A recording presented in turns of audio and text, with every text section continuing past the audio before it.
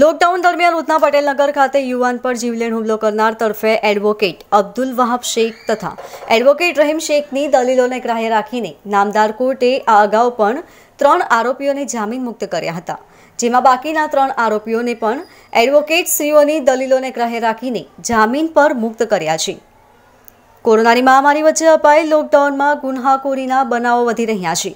જેમાં ફરિયાદી નાગેન્દ્ર રામરાજ રાજપૂતનાઓ સાથે થયેલ બોલાચાલી દરમિયાન હુમલાખોરો દ્વારા તલવાર, સળિયા, પાઇપ તથા લાકડાના ફટકાઓ સાથે હુમલો કરી મારામારીની ફરિયાદ નોંધાવા પામી હતી.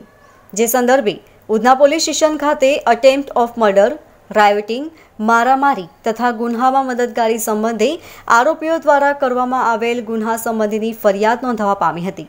જેમાં આરોપીઓ તરફે વિદ્વાન એડવોકેટ શ્રી અબ્દુલ વહાબ શેખ તથા એડવોકેટ રહીમ શેખની ધારદાર દલીલોને ગ્રાહ્ય રાખીને નામદાર સેશન્સ કોર્ટે બાકીના ત્રણેય આરોપીઓને રૂપિયા પંદર હજારના જામીન પર મુક્ત કરવા હુકમ કરેલ છે. Bureau report LK star news Surat.